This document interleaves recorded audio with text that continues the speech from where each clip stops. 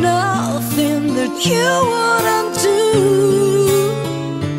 We made history. It was no mystery.